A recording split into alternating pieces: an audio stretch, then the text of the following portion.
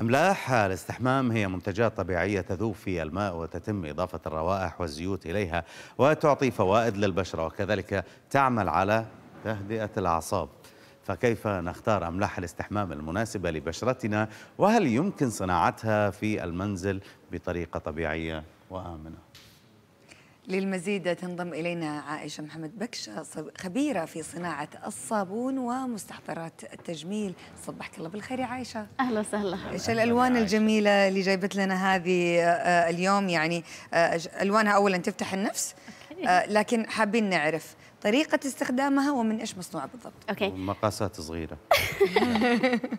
okay اليوم حنعمل آه حنتكلم عن أملاح المغطس آه وهي بتتكون من مواد طبيعية آه بنستخدم كربونات الصوديوم اللي بنستخدمها في الطبيخ عادة وال citric acid اللي هو مستخلص من سكر الفواكه وبنضيف لهم زيوت طبيعية على حسب أن إحنا عايزين نحس بشو. مثلا عايزين انتعاش بنضيف الليمون والنعناع عايزين نسترخي بنضيف اللافندر عايزين آم، ريحة مثلا فيها فخامة مثلا بنستخدم العود أو الياسمين آه، الزيوت الطبيعية الثانية. فاليوم إحنا حنعمل Groovy Kind of Love وهي هي هاي أيوه.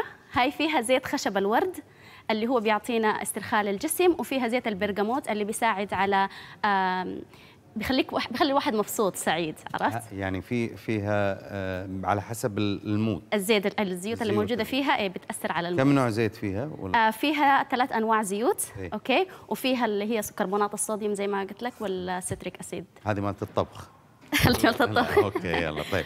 إحنا راح نخلط وراح نتكلم. أثناء ما آه، إحنا نخ... شو هذا؟ شنو اللي عندي اولا؟ okay هذا الأبيض اللي هنا عندك ال- ال citric acid إيه، okay؟ هذا. الصوديوم sodium bicarbonate وال citric acid. وفي عندنا هاي الخليط ال- ال- البرتقالي هذا فيه زيت العطري اللي موجود في ال- في الأملاح دي. إيه. فبنخلطهم مع بعض okay؟ خلينا نخلطهم مع يلا. بعض. يعني أنت تضيفي الزيت العطري على شكل سائل. على شكل سائل. كيف بس؟ تلمسي الحين بتحسي بال بكيف رطب هو. نخلطهم مع بعض؟ نخلطهم مع بعض. هذه ريحتها جميلة. هاي طيب. جميلة. هذا شنو يساعد ال- يعني؟ ال- ال- ب- بكربونات الصوديوم بتخلي الموية آه، آه، رطبة وبتخلي الجسم رطب وفي نفس الوقت بتعطينا آه، الفوار في الماء في الماء فنحن لما نخلطهم مع بعض لو لاحظتي شوية إنها- فيها أيوة. نعم شوي لأنه. فيها الزيوت الطبيعية. هاي من أغلى أنواع الزيوت إحنا بنستخدمها في منتجاتنا آه fresh 100% يعني زي ما شايفين إحنا الحين بنعملها. okay؟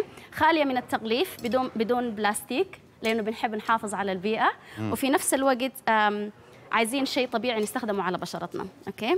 الحين بعد ما خلطنا الألوان. فكرتيني بعجينة البيتزا لما كنا كأنك. بتطبخي بالبيت صح؟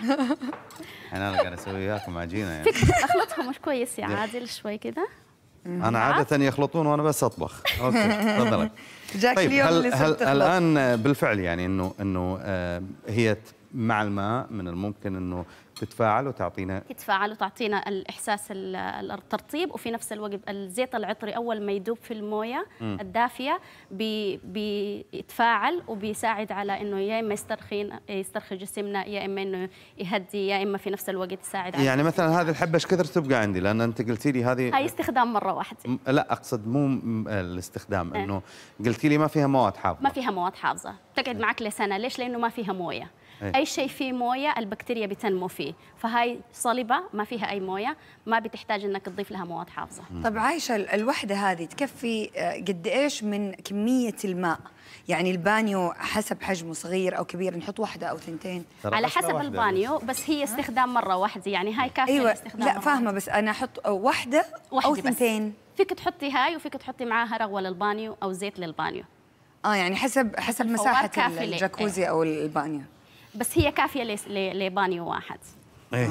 okay؟ يلا، تفضلي. الحين إحنا يلا. خلطنا حبيت اللعبة أنا. حبيت اللعب يلا. okay. الحين إحنا خلطنا ال- المنتجات المكونات مع بعض. okay؟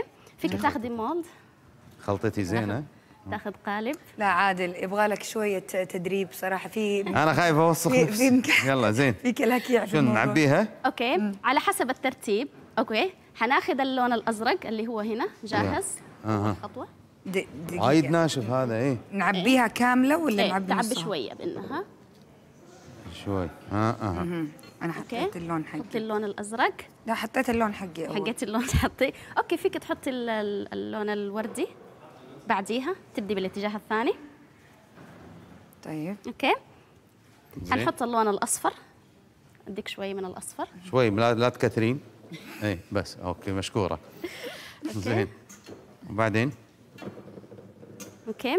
بعد اللون الأصفر حنحط اللون ال- البرتقالي اللي هو عندك. ما راح أعطيكم. ترى الموف عندي ما حاعطيك. اضغطها شوي وعبيها. شوية. إيه يلا. okay. بعدين؟ okay. تاخذ القالب الثاني. نفس الشيء؟ أيوه. تعبيه بالألوان ال- اللي هي في الاتجاه الثاني اللي هو البنفسج أول شيء. إيه. okay. بعدين تحط اللون ال- الوردي؟ طبعا هذا حسب الاختيار يعني الواحد حسب يعني هو مزاجه إيش يحط أول وايش يحط ثاني صح؟ هي كلها نفس المكونات okay بس الألوان نحن ب... عشان طب تعطيك ألوان. كثيرة في البانيو. طماعه ما يلا. شفته قليل. بس يلا أنت مشكوره حتحط البنفسج أول شيء؟ أنا في غرفة تربيه فنيه أيام ما كنا في المدرسة. البنفسج أول. okay. نعم.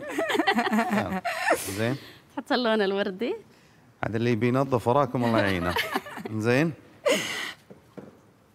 وبعدين؟ ممكن آخذ أصفر من شوية؟ أنا خليني. أسألك بأنه هذه إيش كثر يعني آه، آه، من الممكن إنها تبقى لمدة طويلة في البانيو؟ ولا إنها تذوب خلاص على؟ حسب مثلا تقعد نص مفهوم. ساعة ساعة. إيه. يعني زي ما أنت عايز تدلع نفسك إيه. آه فيك تقعد. يعني هذه صراحة فكرة رائعة للأمهات إنهم يتسلوا مع أبنائهم إذا حابين يسووا شيء مفيد يستفيدوا منه. آه و... و... يعني حلوة الفكرة إنه مشاركة الأبناء مع الأم صراحة فكرة جميلة. شلون يعني؟ طيب. يلعبوا يعني مع بعض إنهم يلعبوا منها. يلعبوا منها يعني بعدين يحطوها في البانيو ويشوفوا بس وخلاص. نسكرها؟ آه حاول حط كمية زيادة أنا ما. سويت ثانية زيادة. طيب. يلا. okay. بدون ما تضغطها يعني. آه. okay. طيب. بعدين تضغطهم مع بعض. أنا فاتت علي فقرة. يلا الحين ما بقى عندنا وقت بس لازم نشوف. ها ها أنا يلا. عفستها. نرمي أول واحدة. أوبا. okay. يلا عادل حط حقتك. أول ما. حطيت أملاح ال- البانيو في الموية إيه. ال- الصوديوم بيكربونات اللي هي طيب. شكرا جزيلا. الآن نخليها وراح نشوف هذيلا راح ناخذهم ويانا. شكرا جزيلا. البيت. اي بس شكرا خليها لمدة 24 شكرا ساعة. لعائشة محمد. بكشة خبيرة في صناعة شكراً الصابون. يعطيكم العافية. أنا هذه باخذها ويا البيت إن في شاء الله. أمان الكريم صارت حلوة. ألوان قوس قزح. في أمان الكريم.